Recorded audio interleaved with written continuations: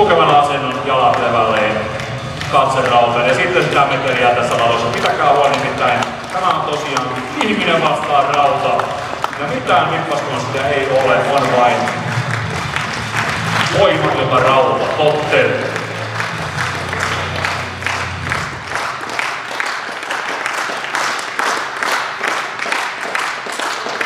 Ciao. Komeasti Vesa